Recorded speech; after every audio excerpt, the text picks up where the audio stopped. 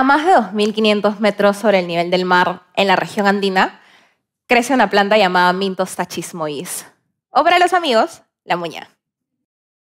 Esta planta tan maravillosa que seguramente muchos de ustedes conocen, tiene muchas propiedades curativas para problemas digestivos o problemas respiratorios. Y a esta planta yo le tengo un cariño muy especial porque me salvó la vida.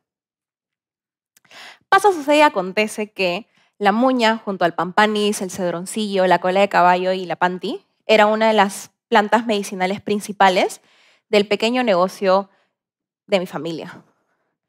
Yo soy hija de una familia quechua que llegó a Lima, a los conos de la ciudad de Lima, después de las migraciones del campo a la ciudad. Toda mi familia es del Cusco, de las provincias de Anta y Acomayo.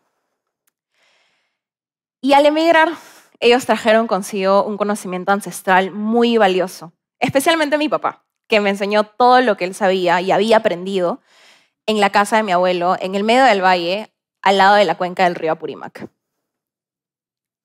Digo que la muña me salvó la vida porque además de proveerme de alimento y ropa, porque como muchas familias migrantes crecí experimentando pobreza, permitió que mi familia pase a mi generación conocimiento ancestral invaluable sobre la visión que nuestras comunidades andinas y campesinas tenían sobre el cuidado de la tierra y los recursos que ésta nos proveía. Mi relación con el mundo, la naturaleza y la vida está basada en ese conocimiento y mi historia existe gracias al paso de mis ancestros y sus historias. Ellos me dejaron muchos regalos, pero también la responsabilidad de conservar lo que me enseñaron. Y por eso fue para mí inevitable poder interesarme en los temas ambientales, en el activismo, en el trabajo comunitario. Y siempre me sentí muy cercana a la naturaleza, a pesar de que las periferias de Lima son lugares muy áridos, porque mi casa siempre está oliendo plantitas. Pero justamente esa diferencia de ecosistemas fue lo que me impulsó a buscar respuestas y cuestionar las bases de los problemas que mi comunidad enfrentaba para buscar soluciones. Me preguntaba cómo es que una chacra antes fértil ahora no era capaz de producir recursos en lo absoluto. Si es que en algún momento los territorios ancestrales de mi familia tendrían que enfrentar la misma situación. Y si en algún momento me tocaría estar ante un suelo tan dañado que no pueda ver crecer muña en lo absoluto. Con el tiempo me di cuenta de que los problemas de mi comunidad no eran temas aislados, eran consecuencias de problemas globales, eran consecuencia de la crisis climática. Porque hablar del cuidado del planeta es mucho más que solamente hablar del reduce, reusa y recicla. La crisis climática es un problema que no conoce fronteras y que tiene tanto un lado científico como un lado social político. Para ilustrar la situación les traje estas dos imágenes.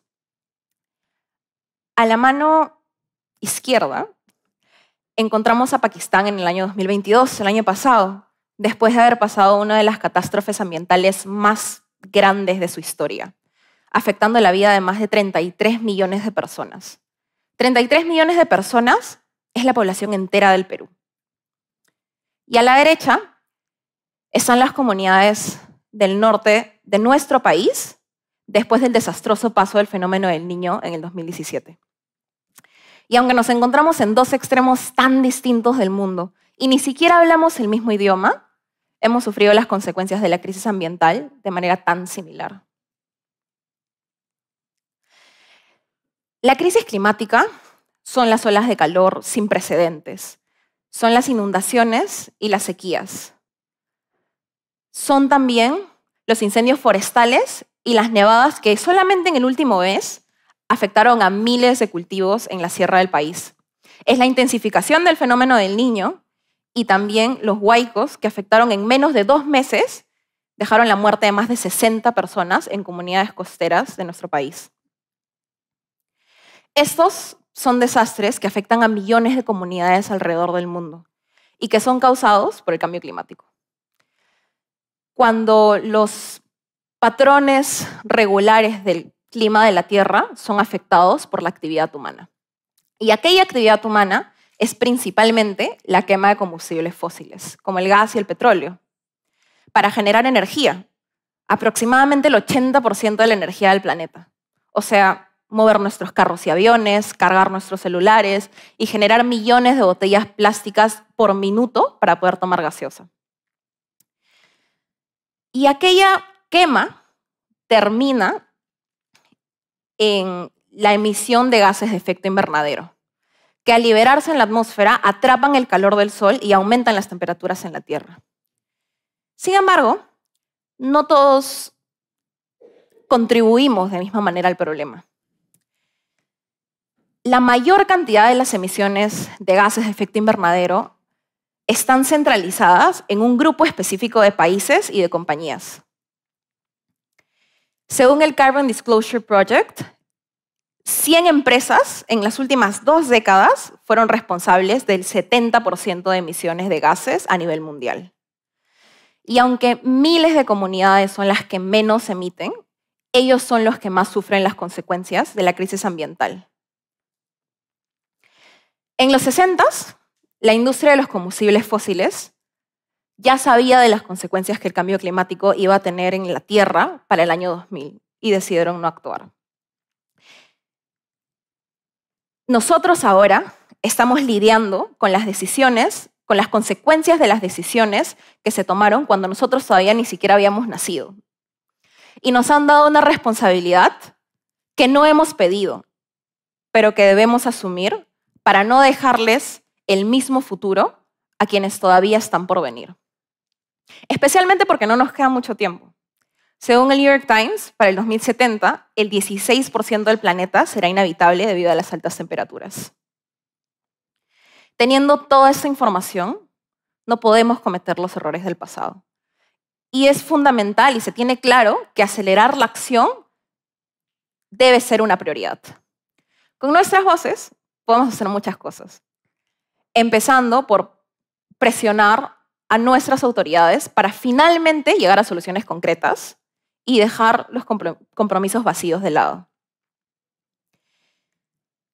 Empezando a tomar a la crisis climática no solamente como un tema de ciencia, sino como un tema de justicia y de derechos humanos.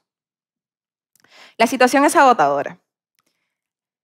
Pero si hay algo que he aprendido de ser parte de este movimiento, es que la esperanza de seguir luchando viene de aquellos que trabajan desde las bases, los que trabajan en comunidad, los que innovan y se mantienen optimistas y tercos y traen la alegría de estar juntos en medio de esto, en medio de tanta tristeza y desesperación. Seguramente muchos de ustedes comparten la historia de ser parte de una familia migrante como la mía. Seguramente somos paisanos. Y eso es porque en Lima somos millones los que llamamos a los cerros, asentamientos humanos y barrios de la periferia nuestro hogar. Pero nuestros territorios son los más pobres, desiguales y vulnerables. Y justamente por eso somos tan impactados por las consecuencias de la crisis climática. Pero también nuestros sectores son de los más resilientes y luchadores que conozco porque fueron mis vecinos los que se organizaron para que mi cerro tenga acceso a energía y a servicios básicos como instalaciones de gas. Porque fueron mis vecinos los que me enseñaron por primera vez acerca de la transición energética y las energías verdes y limpias como una alternativa para nuestros sectores. Porque aunque la brecha de educación ambiental era grande, más grande era la necesidad de acción. El conocimiento ancestral de mi familia y los valores de resiliencia en mi barrio son los que me llevo conmigo en cada espacio de discusión. Y el año pasado fui, a los 18 años, fui la peruana más joven en participar de la COP27, la Conferencia de las Naciones Unidas sobre Cambio Climático en Egipto, el espacio más importante del mundo para hablar sobre políticas ambientales en cambio climático.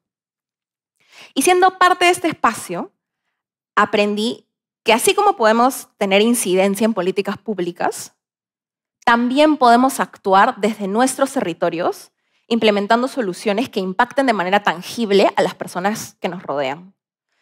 Soluciones que no solamente nacen de los gobiernos, sino que también nacen de las comunidades empoderadas y organizadas. Porque hablar de la crisis climática también es hablar de todos los problemas que derivan de esta y con los que estamos lidiando en el presente. Como por ejemplo la inseguridad alimentaria. Cuando las sequías afectan los cultivos y el agua escasea, cuando las carreteras se inundan y los alimentos no pueden llegar a los mercados y a las mesas de las familias, cuando los suelos son contaminados y la biodiversidad se pierde por completo, son miles de familias en situación de pobreza las que ven su bienestar y salud en peligro. Según la FAO, 16 millones, es decir, casi la mitad de los peruanos, sufren de hambre. Perú es el país con el mayor índice de inseguridad alimentaria en Sudamérica. Y ante esta situación, con una organización llamada Ollas Sostenibles, trabajamos para abastecer de recursos a ollas comunes en la periferia de la ciudad, trabajando en el nexo agua, energía y alimentos, construimos proyectos que hacen uso de la ciencia, innovación y tecnología en temas como tratamientos de aguas grises, biodigestores y biohuertos construidos en andenes, que como saben es una forma de, agricultura ancestral andina. Y hace poco fuimos uno de los 10 ganadores del reto de innovación joven de Solva de MIT, que es una iniciativa del Instituto Tecnológico de Massachusetts. Y el hecho de haber recibido este reconocimiento, haber sido elegidos entre más de 900 soluciones de 90 países del mundo, nos demostró que las soluciones a la crisis climática que nacen desde las comunidades que son más afectadas tienen un gran potencial de impacto y que hay personas e instituciones dispuestas a apostar por nuestras ideas. Y el objetivo de esta charla aunque les haya dado muchos datos desalentadores, eh, no es dejarlos con sentimientos solamente de desesperación. Es invitarlos a explorar sus historias y sus conexiones personales con sus ancestros, con la tierra, con sus comunidades, para poder analizar nuestras acciones como individuos y como ciudadanos y ser parte de un cambio colectivo que busca generar más acción climática desde las bases antes de que sea demasiado tarde. Porque no necesitamos un activista perfecto, sino 100 millones de activistas dispuestos a intentar y fallar juntos para cambiar el presente y salvar el futuro. En el camino van a escuchar a muchas personas tratando de invalidar su lucha, diciendo que el activismo ambiental es una moda. Pero nosotros no somos los primeros. La crisis está acá desde la primera comunidad que vio sus lagos contaminados, desde los primeros que sufrieron intoxicaciones por metales pesados, desde los primeros que fueron desplazados de sus territorios para luego verlos deforestados, desde quienes tuvieron a sus defensores ambientales arrebatados y desde los primeros que lloraron a sus muertos por el paso de desastres sin precedentes en la historia. Nosotros no somos los primeros, no somos los únicos y tampoco seremos los últimos en apreciar la diversidad de culturas y ecosistemas que tenemos en nuestro territorio y en llamar a la Pachamama nuestro hogar. A mí me enseñaron a demostrar amor mediante el cuidado y a ser uno con la tierra y con quienes nos rodean. Y por eso sé que cuidar también es defender. Y a cada uno de nosotros, la tierra nos ha cuidado en algún momento. Y ahora, con convicción, fortaleza y siempre en comunidad, nos toca cuidarla a ella. Gracias.